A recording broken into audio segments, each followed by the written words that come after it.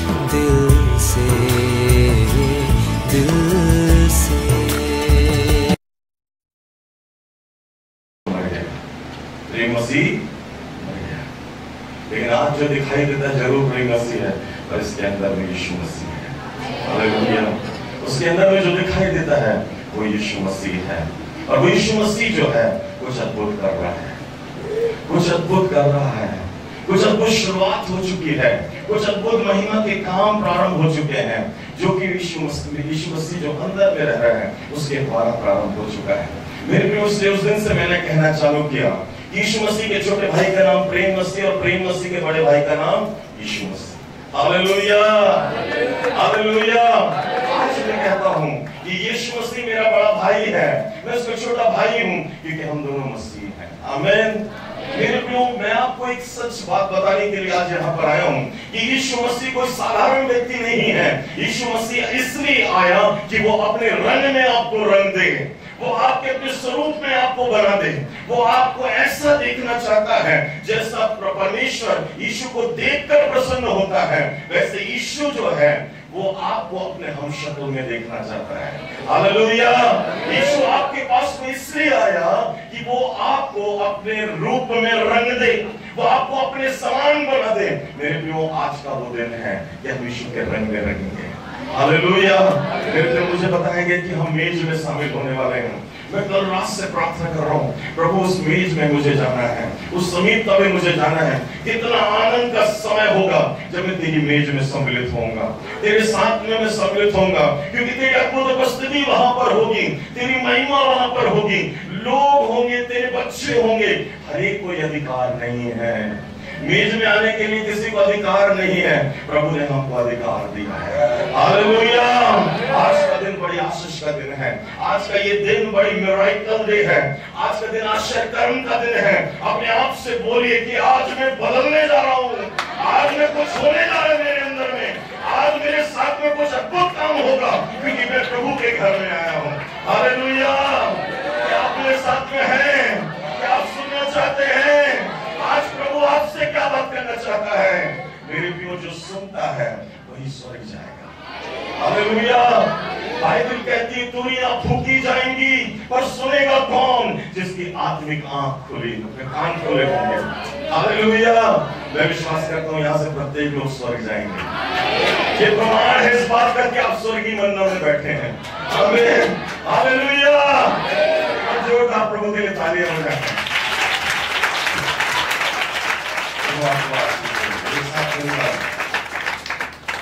मेरे साथ मिलकर जगरिया नबी की पुस्तक जगह नबी की पुस्तक उसका नौ अध्याय और उसके ग्यारहवीं पद को कोई खड़े होकर ज़ोर से पढ़े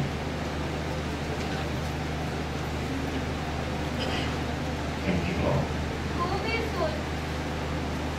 तू भी सुन खड़े हो गए खड़े हो गए खड़े हो गए तू भी सुन क्योंकि मेरी वचन के लहू क्योंकि मेरे वचन वाचा के लहू के कारण के कारण मैंने तेरे मैंने तेरे बंदियों को बंदियों को बिना जान के बिना जल जल के गड्ढे में से उबार दिया गड्ढे में से उबार लिया सब बोले हालेलुया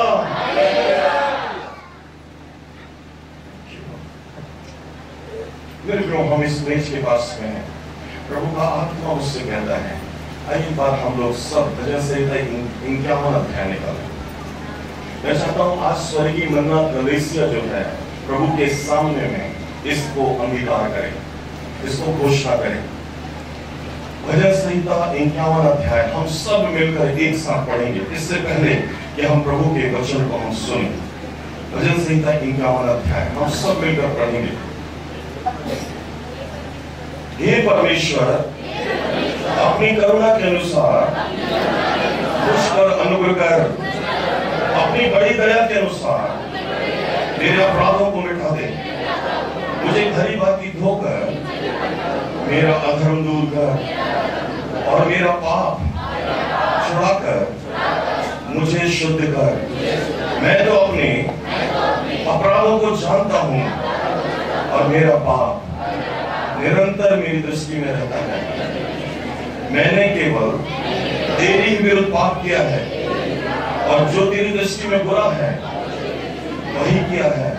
ताकि तो बोलने में धर्मी और न्याय करने में निष्कलंक है। देख, मैं धर्म, अधर्म के साथ उत्पन्न हुआ और बाप के साथ अपनी माता के घर में पड़ा। देख, तू हृदय की सच्चाई से प्रसन्न होता है और एक मेरे मन ही में ज्ञान सिखाएगा। जुफा से मुझे शुद्ध कर। तो मैं पवित्र हो जाऊँगा। मुझे धो और मैं हिम से भी अधिक श्वेत बनूँगा। मुझे हर्ष और आनंद की बातें सुना। जिससे जो हड्डियाँ तुम्हें तोड़ डाली है, वे मग्न हो जाए। अपना मुख मेरे पापों की ओर से फेर ले और मेरे सारे अधर्म के कामों को मिटा डाल। हे परमेश्वर, मेरे अंदर शुद्ध मन उत्पन्न कर और मेरे भीतर स्थिर आत्मा नए सिरे से उत्पन्न कर। मुझे अपने सामने से निकाल निकालना दे और अपने पवित्र आत्मा को मुझसे अलग ना कर अपने किए हुए उद्धार का हर्ष मुझे फिर से दे और उदार आत्मा देकर मुझे संभाल। तब मैं मैं अपराधियों को तेरा मार्ग सिखाऊँगा और पापी तेरी ओर करेंगे हे परमेश्वर, हे मेरे उद्धार करता परमेश्वर, मुझे हत्या के अपराध से छुड़ा ले तब मैं तेरे धर्म का जय जयकार करने पाऊँगा। हे प्रभु, मेरा मुँह खोल दे। तब मैं तेरा गुणवाद करो सकूँगा क्योंकि तू मेरे बलि से प्रसन्न नहीं होता। नहीं तो मैं देता। होम बलि से भी तू प्रसन्न नहीं होता। टूटा मन, परमेश्वर की योग बलिदान है। हे परमेश्वर, तू टूटे और पिसे हुए मन को तुच्छ नहीं जानता। प्रसन्न होकर, सियोन की भलाई कर, यरूशलेम के शहर बना को तू बना। तब तो धर्म के बलिदानों से, अर्थात सर्वम पशुओं के होम बलि से प्रसन्न होगा। तब लोग तेरी वेदी पर पैर चढ़ाएँगे। सब बोले, आमेन। सब बोले, आमेन। सब आमेन। पिता मुझे आज माफ़ कर मैं इस वचन की घोषणा करके आज मैं शुद्ध हो गया हूँ आज मैं शुद्ध हो गया हूँ मेरी भी यह प्रार्थना है जो दाऊद ने किया आज से मैं नया हो गया तूने मुझे बदल दिया है तूने मुझे बदल दिया है मेरी आत्मा बदल गई मेरा स्वभाव बदल गया मेरा आचरण बदल गया आज से मेरे अंदर में जो मेरी आत्मा है वो यीशु की आत्मा है। वो यीशु की आत्मा है। वो पवित्र आत्मा है। जो मुझमें अब से चलेगा, मुझे बदलेगा मुझे बदलेगा। यीशु के नाम से। आमेन। आमेन। हालेलुया। आ जाए हम फिर से। जकरिया नबी की पुस्तक, उसका नौ अध्याय, उसके ग्यारहवें पद में। तू भी सुन, क्योंकि मेरी भाषा के लहू के कारण मैंने तेरे बंदियों को बिना जल के गड़े में से उबार लिया है। सब बोले, हालेलुया एक अद्भुत समय जब प्रभु के साथ में बैठकर हम उसकी आराधना कर रहे मेरे प्रियो, मैं जो आपसे बात करना चाहता हूँ अब थोड़े समय में, वो है कीमती लहू। एक लहू की वाचा जो परमेश्वर जो है हम इंसानों के साथ में, यीशु मसीह के लहू के साथ में बांधता है। हालेलुया। यीशु का लहू कोई साधारण लहू नहीं है।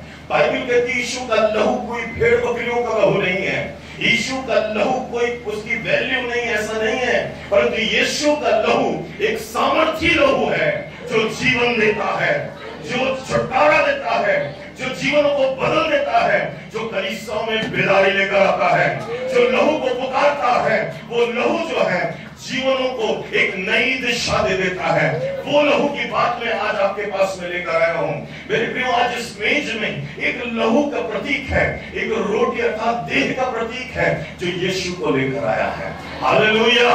ये मेज कोई ढकी हुई चीज़ नहीं है। यीशु मसीह कलवरी क्रूस पर कोई साधारण तरीके से नहीं नहीं मरा। कई सालों की तपस्या, कई सालों के इतिहास के वो शब्द जो परमेश्वर अपने नबी और भविष्यताओं के द्वारा कह रहा था वो सारी बातें कलवरी क्रूस पर पूरी हो गई। हालेलुया! वो यीशु इसलिए मर गया कि प्रेम मसीह बच्चा है। हालेलुया!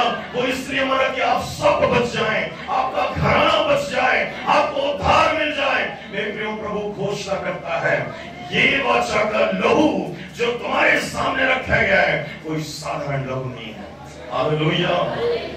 परमेश्वर अपने लोगों से बात करता है कि ये जो लहू जो जकरिया नबी की पुस्तक नौ अध्याय ग्यारहवें पद में कहता है कि मेरे बादशाह का लहू जो बंदियों को गड़े में से निकालेगा, जो मुर्दों को जीवन देगा, जो मर रहे हैं, उनको एक नई आशा देगा, जो निराशाओं में ज़िंदगी को जी रहे हैं, उनको बदल कर बाहर निकाल देगा। वो लहू की बात करता है।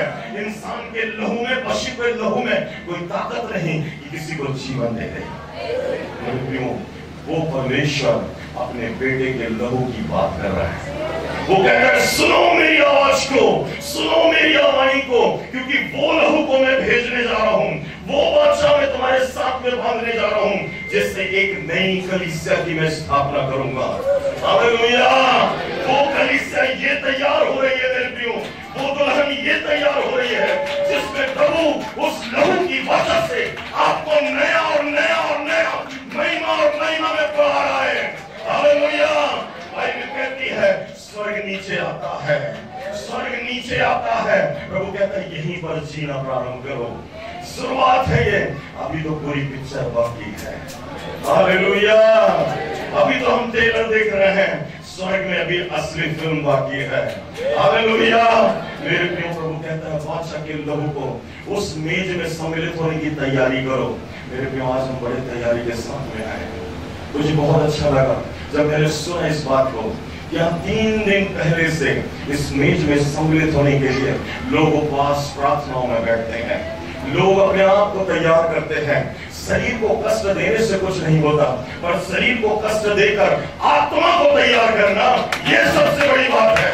हालेलुया प्रभु आत्मा को देखता है और वो आत्मा आज आपकी तैयार है मेरे प्रियो प्रभु जो है वो आपके साथ में काम कर रहा है प्रभु बदल रहा है।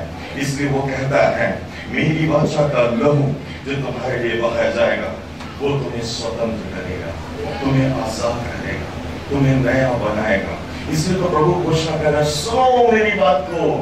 मैं तुमको पहले से भविष्यवाणी में बता देता हूँ।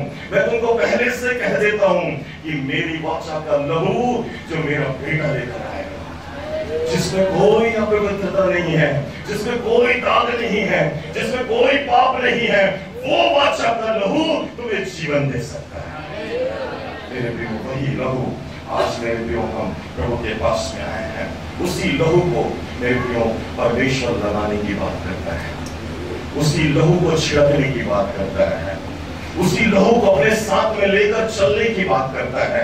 आज उस लहू को यहाँ से ज़रूर लगा कर जाए। बोले यीशु अपने प्रेम के लिए मैं आपको धन्यवाद देता हूँ आज इस स्थान को छोड़ने से पहले मैं तेरे लहू को अपने पर छिड़क कर जाऊँगा अपने शरीर में लगा कर जाऊँगा क्योंकि मैं जानता हूँ तेरा लहू मुझे बचा कर रखेगा तेरा लहू कवच है मेरे लिए सुरक्षा का स्थान है मेरे लिए आज यहाँ से मैं लहू को लेकर जाऊँगा यीशु के नाम में मेरे प्रियो मैं आपसे बात कर रहा हूँ लहू के बारे में। उसकी सामत उसके अधिकार, उसके अथॉरिटी के बारे में। लहू कोई साधारण लहू नहीं है। आपको बदल सकता है, आपके परिवार को बदल सकता है, आपके जीवन को बदल सकता है, आपकी परिस्थितियों को बदल सकता है, आपके घर में निराशाओं को बदल सकता है। यदि आप अपने घर में इन लहू को छिड़कना और लगाना चालू करते हैं मेरे प्रियो, आज बहुत से चर्चों में मैं जाता हूँ लहू की बात नहीं होती। लहू की बात नहीं होती।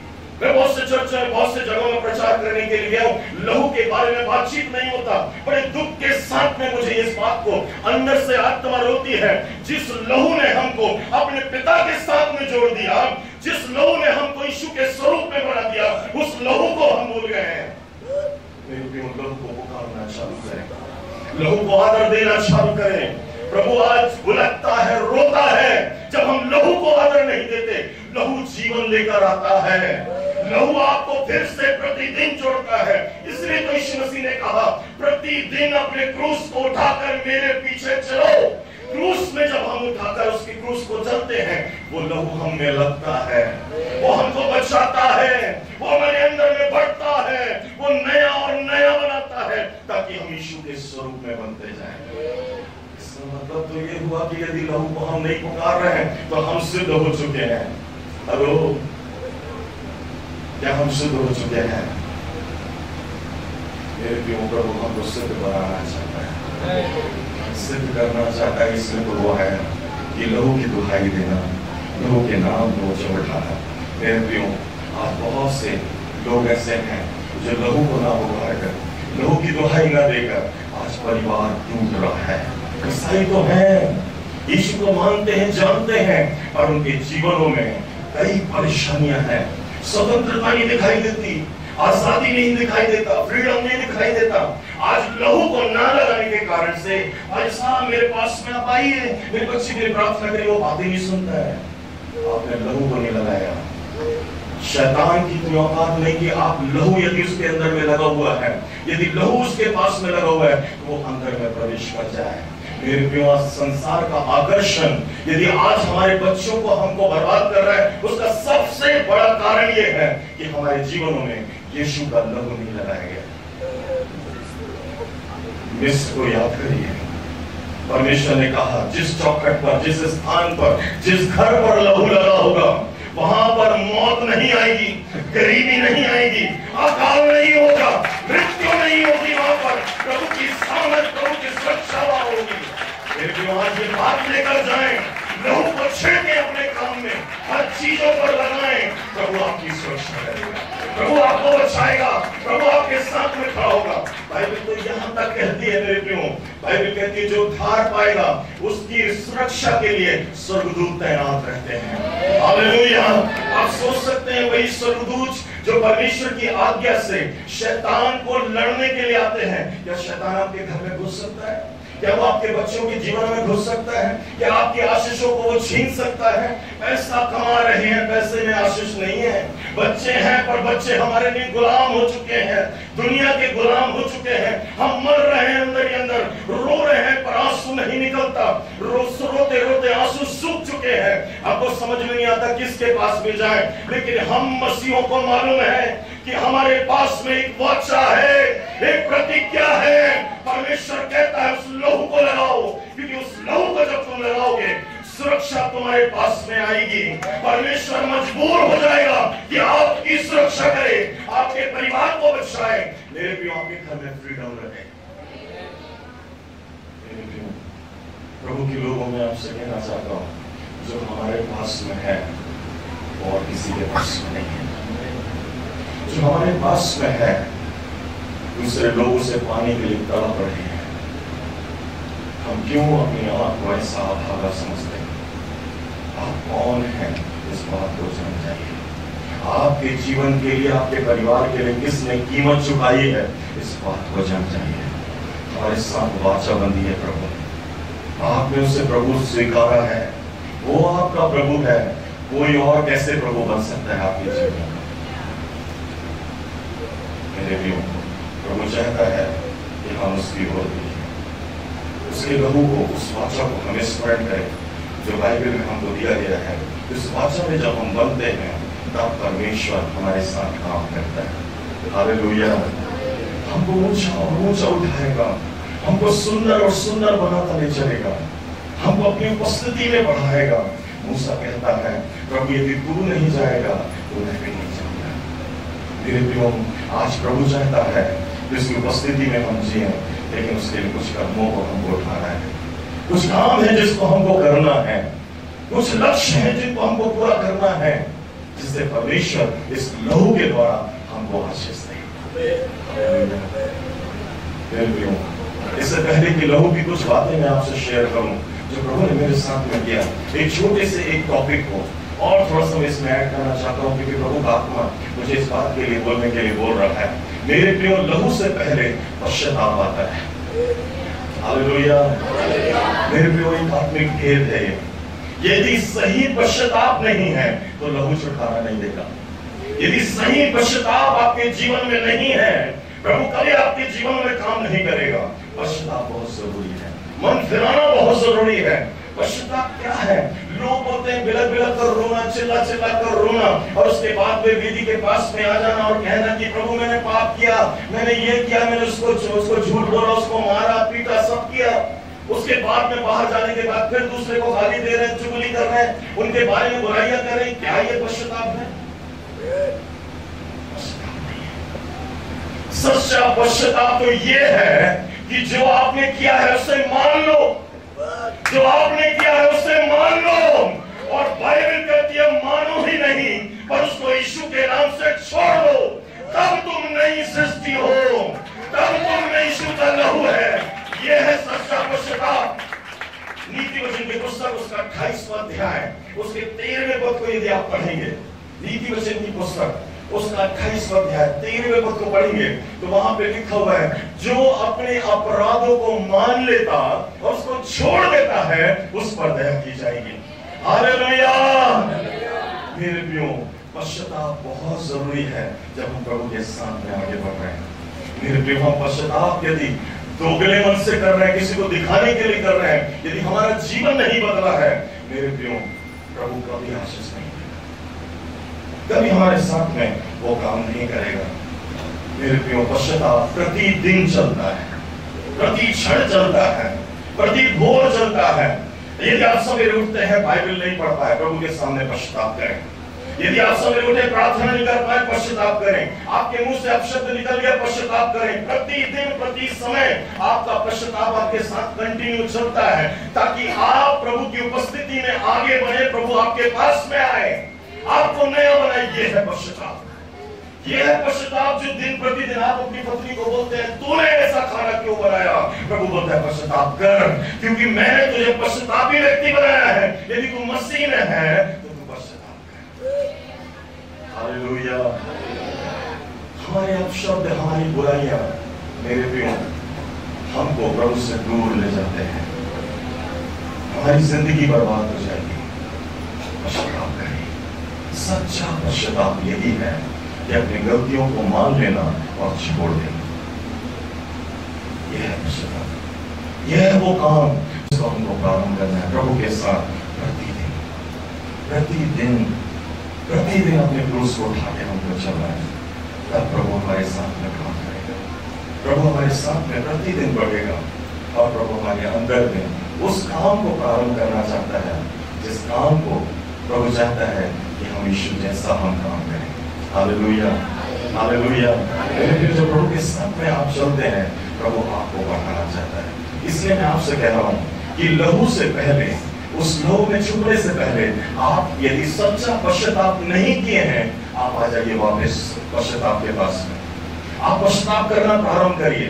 अपनी गलतियों के लिए, बुराइयों के लिए, सब बातों के लिए, अपने घमंड के लिए, आई के लिए, सब के लिए आप पश्चाताप करें। आप आ जाइए प्रभु के पास में। प्रभु, मैं तेरे लहू के पास में तेरे लहू को मैं अपने जीवन में, अपने परिवार में छिड़कना चाहता हूँ। याद रखिए, शैतान की आँखों से आँखें मिलाकर आप कह सकते हैं कि शैतान, मेरे अंदर यीशु का लहू है। उसने मुझे जीता है। मैंने सच्चा पश्चाताप किया है। मेरा जीवन बदल गया है। अब मैं वैसा जीवन नहीं जीऊँगा जो तू मुझे जिलाता था पर अब मैं वो जीवन जीऊँगा जो मेरा यीशु जीता है। हालेलुया। जब प्रभु बढ़ेगा तब आप बढ़ेंगे। जब प्रभु आपके अंदर में काम करेगा, तब आपके अंदर में स्वागत आएगी। हालेलुया।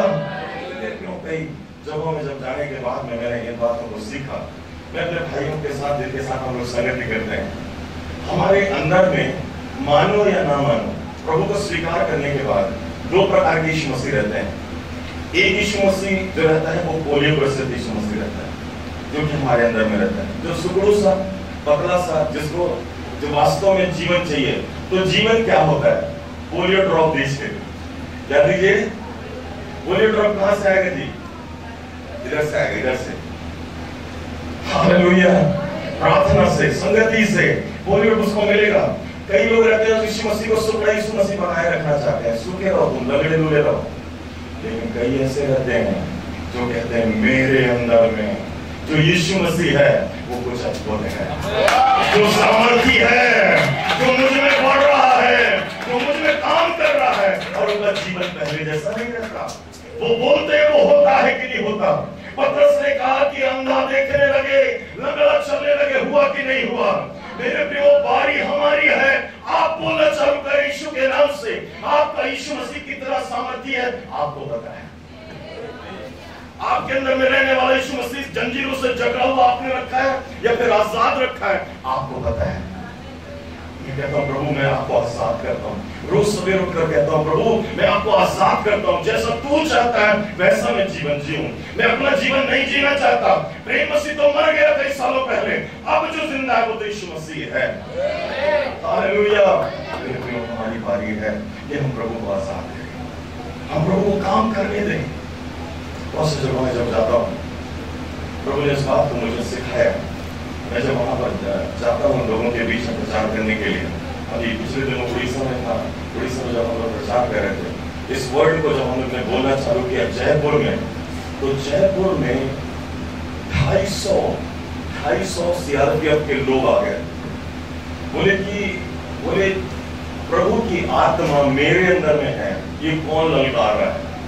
अब जब वो लोग आए हमारे पास में तो बोले कि हमारे यहाँ दुर्ग से एक पास्टर आए हुए हैं, जो कि प्रचार कर रहे हैं। वो बात मैं आज आपको सिखाकर जाना चाहता हूँ। हालेलुया मेरे जब जब आप बोलेंगे, मैं दिन में दिन में उसको मैं कई बार बोलता हूँ, प्रभु का आत्मा। लेकिन इसको बोलने का भी दो तरीका है। एक बकरी जैसे बोलते हैं और एक बब्बर शेर जैसा बोलते हैं। किसके जैसा बोलना है ये आप आप लोग हालेलुया हम लोग सीखेंगे थोड़ी देर। ज़्यादा थैंक यू हम लोग सीखेंगे हालेलुया बोले प्रभु का आत्मा मेरे अंदर में है ये बकरी वाला है क्या वाला है बकरी वाला है मेरे अंदर में ये बेबी मेरे सामने में बैठी हुई है बोलती है भैया मेरे अंदर में प्रभु का आत्मा है शैतान बोलेगा तेरे से ज़्यादा वस्तु मेरी है मेरे प्रियो हमको बोलना है? बेटा, क्या नाम है आपका? एनी। बेबी एनी, क्या तुझे पता है प्रभु का आत्मा मेरे अंदर में है?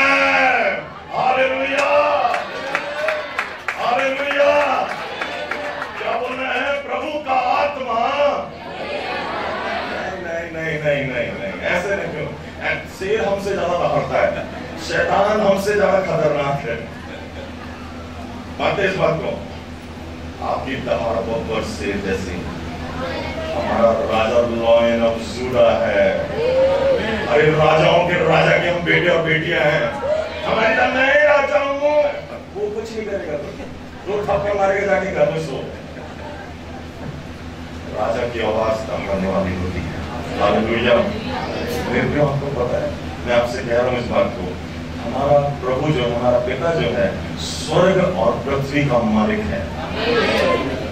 उसके हम बेटे और बेटियाँ हम राजकुमार और राजकुमारियाँ हैं। हमारी दफ़ा कैसे होना चाहिए चलिए स्वर्गीय मन्ना के लोग आज बोलेंगे प्रभु के नाम से। हालेलुया जितनी ऊँची आवाज़ छटपट जाए हम दुआ करेंगे यहाँ पर लैंडर वाला बनेगा। प्रभु इस घर को नया बनाएगा अपने यहाँ पर प्रभु की महिमा होगी और संजय स्कूल ऊपर चले गए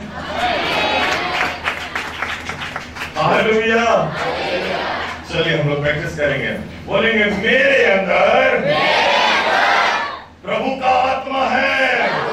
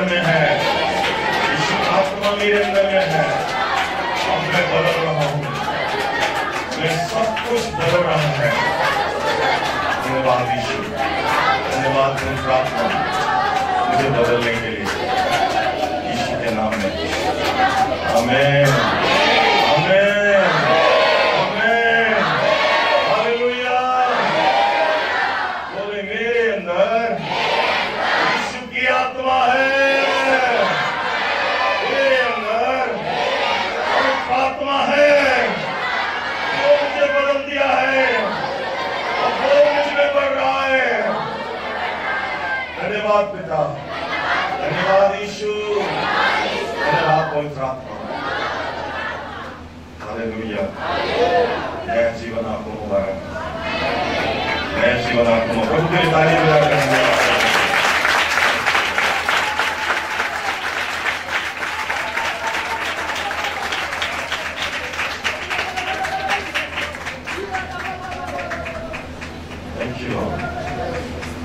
मेरे प्रियो लहू बहुत कीमती है लहू जीवन को बदलता है लहू हमारे जीवन में एक बेदारी को लाता है जब हम प्रभु पर पूरा विश्वास रखते हैं भरोसा रखते हैं तब प्रभु अपने लहू से हमारे सामने काम करता है।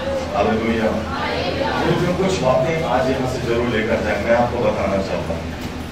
लिखें पहली बात यदि आप कोई लिखते हैं ज़रूर लिखें। और यदि कोई सुन रहा है तो ध्यान से सुने। इफिसियों की पत्री। इफिसियों की पत्री उसका पहला अध्याय और उसके सातवें पद को पढ़ेंगे हम लोग। जल्दी से। हम तो हमको हाँ। उसमें उनके लहू के द्वारा छुटकारा अर्थात अपराधों की क्षमा उसके उस अनुग्रह के दर के अनुसार मिलता मिला है। हालेलुया। उसमें लिखा हुआ है, लहू के द्वारा छुटकारा मिला है। सब बोले हालेलुया। लहू के द्वारा छुटकारा मिलता है। हालेलुया। लहू के द्वारा हमको जीवन मिलता है। तो जो पहली बात मैं आपको बताना चाहता हूँ, वो बात ये कि यीशु के लहू से आपको छुटकारा मिला है। आप आज़ाद हो चुके हैं। ये आपके अच्छे काम नहीं है। हर बातों से आप आज़ाद हुए हैं। संसार के राज्यों से, संसार की बातों से, शैतान और अंधकार की शक्तियों से, बुरी युक्तियों से, हर बातों में आपको प्रभु ने यीशु के लहू से छुड़ा लिया है। हालेलुया। जब यीशु ने आपको छुड़ाया तो आपको प्रभु के लिए जीना है। जीना नहीं जीना जी यशाई की पुस्तक उसका तिरालीसवा अध्याय, उसके पहले पद को यदि आप पढ़ें तो वहाँ पर लिखा है, मैं नाम लेकर तुमको बुलाया ताकि तुमको मैं छुड़ा लूँ। मसीह को इसलिए बुलाया ताकि वो मुझे क्या कर ले। परमेश्वर ने जब हमको छुड़ाया, प्रभु ने जब हमको आज़ाद किया तो हम अब अपने नहीं है, परंतु तो हमारा जीवन जो है, वो प्रभु का हो गया है। पहले हम झूठ बोलते थे, आज से झूठ बोलना बंद कर दिया। पहले हम चुगली करते थे आज से चुगली करना बंद कर दीजिए। पहले लोगों के बारे में बुरा भला आप सोचते थे सोचना बंद कर दीजिए। क्योंकि आपके अंदर में कोई और रहता है। क्योंकि आपके अंदर में कोई और बढ़ रहा है। क्योंकि आपके अंदर में कोई और सांस ले रहा है। कोई है जो आपके अंदर में एक नए स्वभाव की उत्पत्ति कर रहा है। कोई है जो आपके अंदर में एक नई सृष्टि को तैयार कर रहा है? कोई है जो आपके अंदर में उस यीशु मसीह की आत्मा ने आपको नया और नया बना रहा है? क्योंकि ये छुटकारा कोई साधारण छुटकारा नहीं है, परंतु ये छुटकारा एक अद्भुत छुटकारा है, जो न कि आपको आशीषित करेगा, परंतु आपके परिवार को भी आशीषित करेगा। आपके जीवन में वो आशीषों को लेकर आएगा जिसके आप हकदार हैं। जिसके लिए प्रभु ने आपको बुलाया है, इसलिए यीशु के लहू में आपको छुटकारा मिला है। हालेलुया। हालेलुया। दूसरी बात, जल्दी जल्दी हम लोग आगे बढ़ेंगे दूसरी बात, एफिसियो एक अध्याय सातवीं पद को फिर से पढ़े। एफिसियो पहला अध्याय सातवीं पद को फिर से हमको उसमें उसके लहू के द्वारा छुटकारा, अर्थात काय की क्षमा। सब बोले काय की क्षमा। हम लोग गलती करते थे, हम लोग गुनाह करते थे, हम बुराइयाँ करते थे, हम अनाज्ञाकारी थे, हम व्यर्थ की बातें सोचते थे। हर एक अपराधों के लिए प्रभु ने कीमत चुकाई है। हालेलुया। हर बातों के लिए उसने कीमत चुकाई है। जिसको आपने किया, उस बात को प्रभु ने कहा, मैं उसकी कीमत चुकाऊँगा। मैं उस कीमत को चुकाऊँगा जो तुम्हारे जीवन में जितने पाप और गुना और अपराध आ गए थे, उन अपराधों के लिए मैं कीमत चुकाऊँगा और उस कीमत के बदले मैं तुमको आज़ादी दूँगा। हालेलुया। वो हमको आज़ादी देना चाहता है, इसलिए कहा मैं तुम्हारे पाप को स्मरण नहीं करूँगा। तुम्हारे अपराधों को मैं स्मरण नहीं करूँगा तुम्हारी गलतियों को मैं स्मरण नहीं करूँगा। यशाया की पुस्तक उसका अड़तीस अध्याय और उसके सत्रहवें पद को यदि हम निकाल कर पढ़े तो वहाँ पर लिखा है, उसने हमारे अपराधों को अपने पीठ के पीछे में फेंक दिया है और उसे कभी स्मरण सबसे बड़ा पापी कौन है? बोले प्रेम मसीह। बोले प्रेम मसीह। हालेलुया आप मेरे साथ में हैं जो सो रहे हैं, वो ज़ोर से हालेलुया बोले। अपनी जगह है वो लोग बोले हालेलुया। फिर भी सोइए, मत जल्दी से खत्म करूँगा मुझे मालूम है, जो हमारा ईश्वर है, हमारा इंतज़ार कर रहे हैं। समझ रहे हैं आपको किसकी बात कर रहा हूँ? इफिसियों कहता है, इफिसियों कहते हैं फिलिपी की पत्री में लिखा है कि पेट हमारा ईश्वर है। पढ़े नहीं, पढ़े जी वाह, सही बोलना वाले ज़्यादा ज़्यादा पढ़े हैं। अच्छी बात, प्रभु में पढ़ना चाहिए। लेकिन एक ईश्वर इधर भी है। है जी? जो कि बोलता है, घड़ी एक बज गए बारह बज गए है ना? चलिए अच्छी बात है। यदि भूख नहीं लग रही तो मैं कोशिश करूँगा। अभी मेरे साथ में भाई मेरे साथ में भाई सनी आए हुए हैं। बोले भैया कितना देर प्रचार करेंगे? मैंने कहा, मुझे तो नहीं मालूम है कितना देर प्रचार करना है। उड़ीसा में जब हम लोग प्रचार करने के लिए गए हुए थे तो वहाँ पर हम लोग सवेरे नौ बजे से प्रचार कर रहे थे। हमको पता ही नहीं था क्योंकि पंडाल में हम लोग प्रचार कर रहे थे। रात को सात बज गया शाम के। पता ही नहीं चला। क्योंकि मेरी आदत है मैं गिटार लेके चलता हूँ बीच बीच में गीत भी गाता हूँ, पर आज थोड़ा कम है। पर वहाँ शाम को सात बजे हमको पता ही नहीं चला, शाम के सात बज। बड़ौदा बाज़ार के पास में खरसिया करके एक जगह है। यदि आप गए हैं, खरसिया। खरसिया में हम लोग प्रचार करने गए थे, पास्टर गुप्ता के यहाँ पे। पास्टर गुप्ता के वहाँ पे बोले कि हम लोग यहाँ पर प्रचार करेंगे, आपने आपने बुलाया। मैंने कहा, कितना देर बोलना है? उन्होंने बोला, भाई साहब, आपको जितना देर लेना उतना देर लो मैंने कहा, ठीक घड़ी को बंद कर दीजिए सबसे पहले, क्योंकि सबकी निगाह घड़ी की ओर जाएगी। बोले, प्रचार करना चालू करिए। दस बजे से लेकर तीन बजे तक प्रचार किया। बोले, भूख ही नहीं लग रहा है, और प्रचार करो। घड़ी को जब हम लोग ऑन करके देखा तो उसमें तीन बजे। आज ऐसा नहीं करूँगा। पर प्रभु के साथ में हम लोग बहुत कुछ थोड़े समय में हम लोग सीखेंगे हालेलुया। क्या मेरे साथ में है? एक बार ज़ोर से बोले, हालेलुया। जो सोए हैं वो बोले, हालेलुया।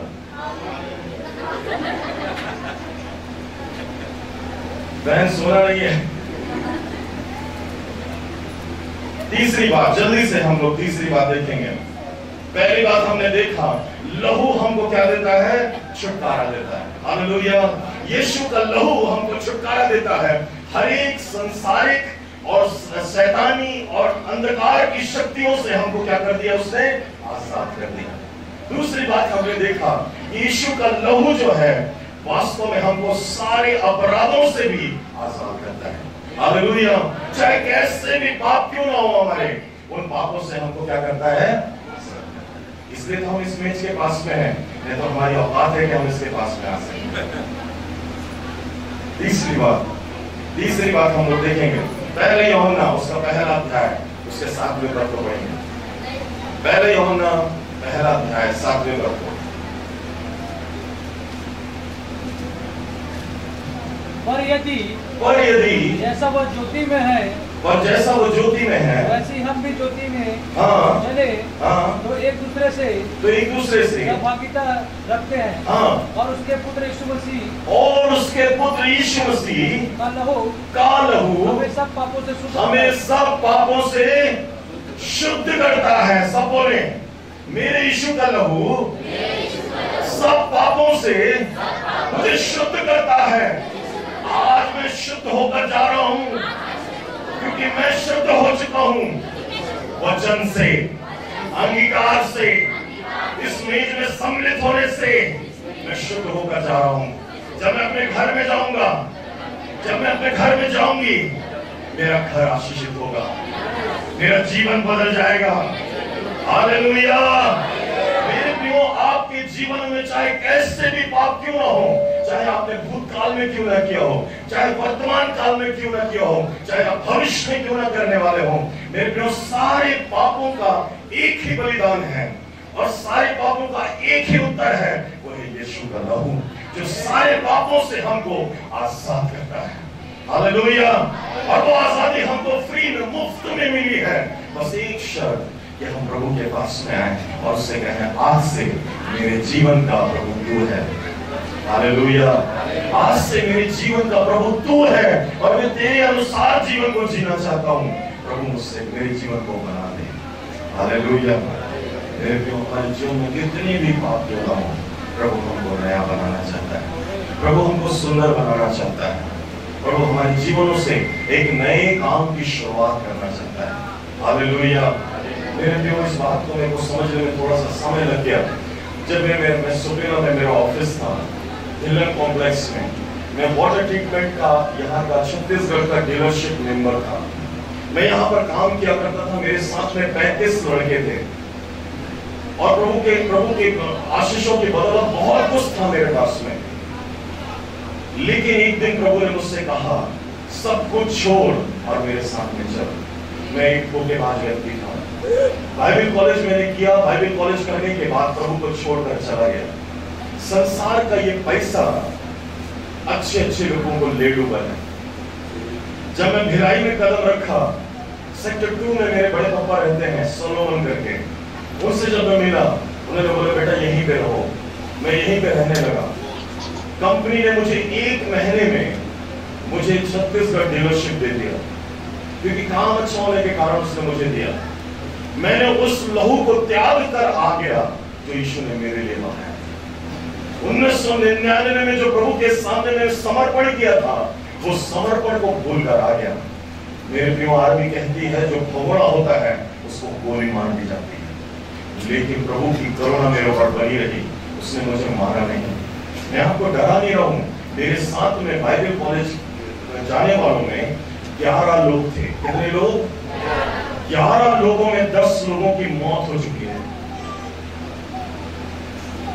मैं आपको डरा नहीं रहा हूँ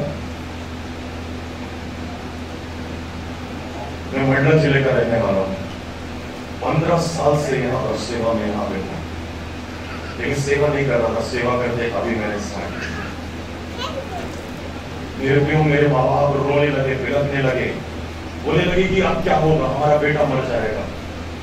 जितने भी लड़के मरे थे, सब लड़के के घर वाले आके बोलने लगे, अब प्रेम की बारी है। अब प्रेम की बारी है। अब प्रेम की बारी है।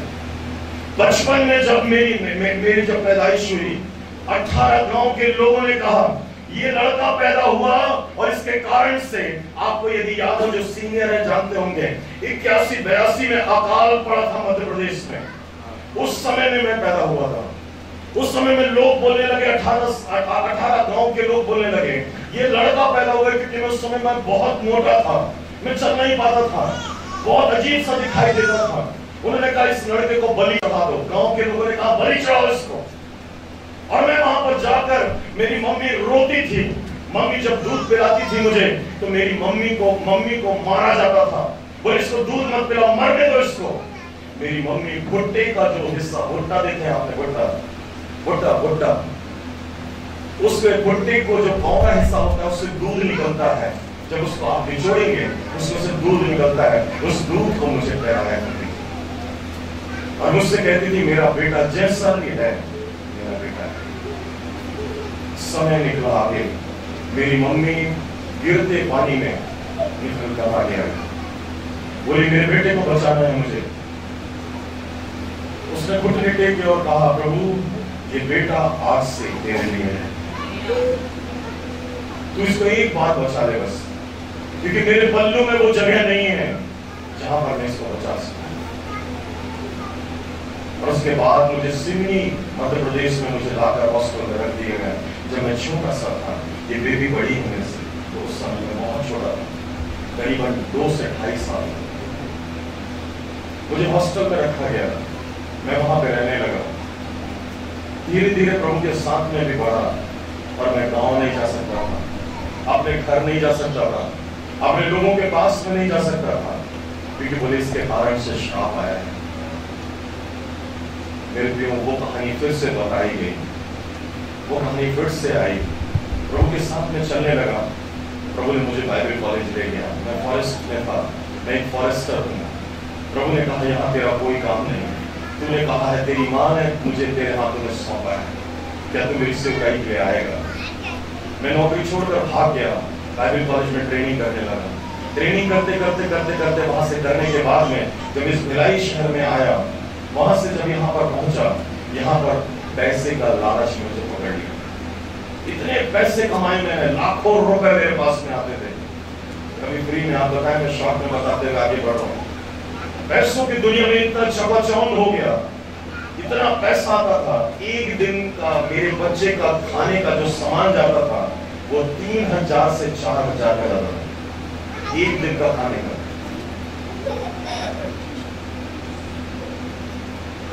पैसे में उड़ने लगा।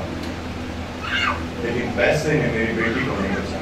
बचाने के लिए खड़ा नहीं मेरे प्यो, मेरी पत्नी मरने के कगार पे चंदुलाल चंद्राकर हॉस्पिटल में एडमिट हो गई।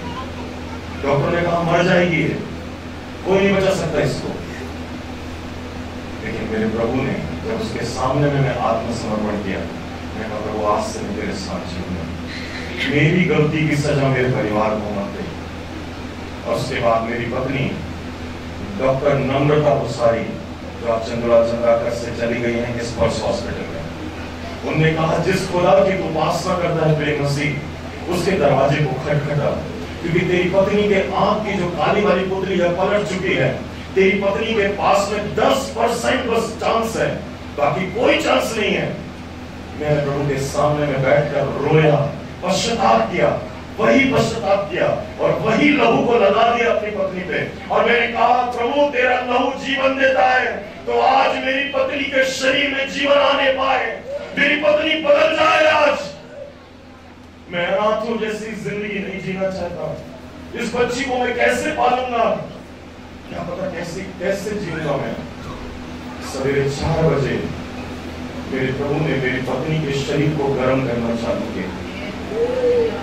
मेरी पत्नी के आँखों के उन पुत्रियों को फिर से वापस लाना चालू किया। उसका पहला वर्ड था, मेरा पति कहाँ है? मैं अपने अपनी पत्नी के पास में गया।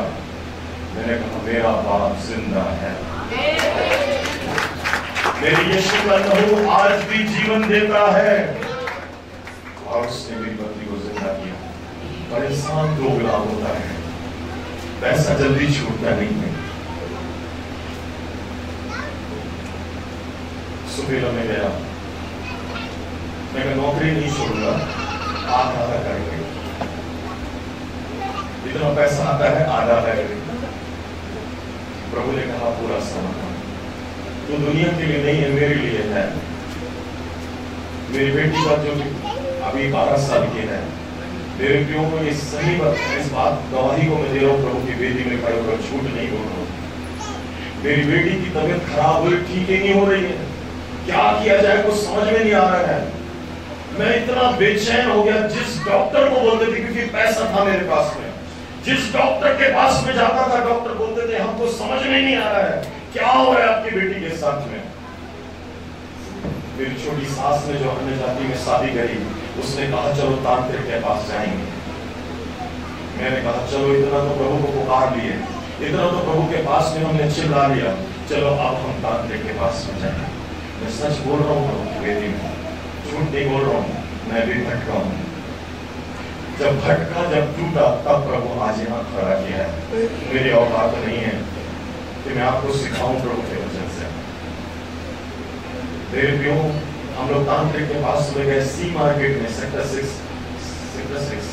Okay, C market, E market, C market. Okay, C market से हमने वहाँ से पूरी चीज़ों को हमने लिया और लेकर हम परसदा गए उमरकोटी के पास।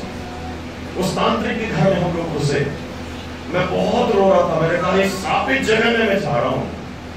और मेरी पत्नी बोलती, एक बार बस। मेरी बेटी के लिए चलो मैंने कहा, मार देगा प्रभु हमको। क्योंकि मैं बाइबल कॉलेज के मैं जानता हूँ कि इस वचन में क्या लिखा है। श्रापित होगा वो व्यक्ति जो ऐसी जगहों में जाएगा। मैंने कहा, मैं नहीं जाना चाहता, वापस चलो। मेरी पत्नी ने कहा, बेटी के लिए एक बार चलो। हम लोग अंदर गए। मैं वहाँ पे रो रहा था, तांत्रिक। मेरी आँखों को देखकर बोलता है, बेटा, रो मत। सब अच्छा हो जाएगा। मैं ठीक करूँ मैं। और मैं तो इसलिए रो रहा था, मेरी बेटी के लिए नहीं सच बताऊँ, प्रभु की वेदी में वो झूठ नहीं बोल रहा। मैं प्रभु के उस श्राप के लिए जो मेरे परिवार में पड़ने वाला था, उसके लिए मैं रो रहा गलत लहू का चुनाव मैंने कर लिया था। मुर्गी लेके गया था मैं काली वाली मुर्गी, चढ़ाने के लिए तांत्रिक अपना मंत्र पढ़ना चालू किया। कानों को डालने लगा। मेरे प्रियो प्रभु, आज भी चाहे कैसी भी परिस्थिति क्यों ना हो, अपने बच्चों को बचाना जानता है। अपने बच्चों को बचाना जानता है और उनको निकाल कर बाहर खड़ा करता है। जब मैं इस काम को हम कर रहे थे, वो तांत्रिक आज भी ज़िंदा होगा, मैं मैं सोचता हूँ। जब मुर्गी के सिर को काटने के लिए बंदर के ऊपर में डालने के लिए रखा गया, जब उसके सिर को काटा गया ब्लड निकलना बंद हो गया। खून ही नहीं निकल रहा है। तीन से चार बूंद खून निकला। आग जो उनकी जलती है उसमें क्या डालते उसको डाला गया, वो आग जल ही नहीं रहा है। बुझ रहा है बार बार तांत्रिक पूरा पसीने से लथपथाने लगा। वो बोलने लगा, इसके क्या हो रहा है यहाँ पर? वो घबराने लगा, बोलता, मैं मर जाऊँगा, मेरे को बहुत बेचैनी हो रही है। मैं वहाँ पे एक ही की प्रार्थना कर रहा था। प्रभु मुझे बचा ले प्रभु मुझे बचा ले, मेरे परिवार को बचा ले। बस इससे ज़्यादा कोई प्रार्थना नहीं। ये छोटी सी प्रार्थना, एक पश्चाताप की प्रार्थना, उसके लहू को पुकारने की प्रार्थना कि प्रभु, आज कुछ यहाँ पर अद्भुत होने पाए और उस स्थान में, उस परसदा में, उस तांत्रिक के घर में, वो तांत्रिक बोलता है, जल्दी बाहर निकलो, क्योंकि कुछ किसी ने कुछ गड़बड़ किया है। हम बाहर निकल।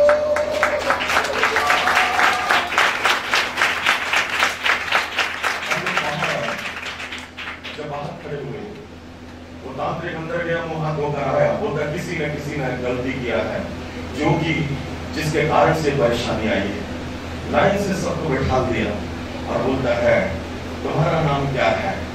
मैंने कहा प्रेम मसीह। उसने जब लिखना चालू किया तो कुंडलियाँ बनाते हैं। कुंडलियाँ बनाते हैं डेट ऑफ़ बर्थ लेकर, नाम लेकर। उसने कहा, यही वो व्यक्ति है जिसके कारण से इसकी बेटी मरने वाली है और आज ये समस्या इसके पास में आई है। मैं बोला, अपनी बेटी को क्यों मारूँगा जी मैं? मैं तो इतना प्यार करता हूँ, मेरे कलेजे का टुकड़ा है वो। उसको दर्द होता है, मुझे भी दर्द होता है। मैं क्यों मारूँगा उसको? उस तांत्रिक ने कहा, बेटा, एक बात कहना चाहता हूँ। आज तक ध्यान से सुने, एक तांत्रिक की ज़ुबान। उस तांत्रिक ने कहा, आज तक पचास सालों से मैंने शक्ति की उपासना की है। परंतु प्रेम मसीह इस बात को सुन क्योंकि तू महाशक्ति की उपासना करने वाला बेटा है।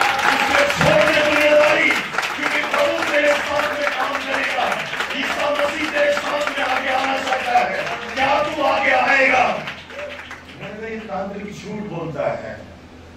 मुझे विश्वास नहीं हुआ।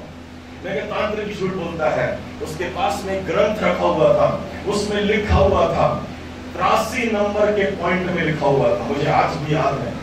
त्रासी नंबर के पॉइंट में लिखा हुआ था, कब्रों में पड़े ऐसे स्त्री पुरुष और बच्चों को तू हाथ पकड़ के बाहर निकालेगा। ये बात मुझे समझ में नहीं आई। मैंने कहा, ये ढोंगी है। ये फालतू बात करता है, मेरे घर वालों ने कहा। हम समझ गए हैं अब। मैंने कहा, इतने दिनों से मैं समझा रहा था। तब समझ में नहीं आया।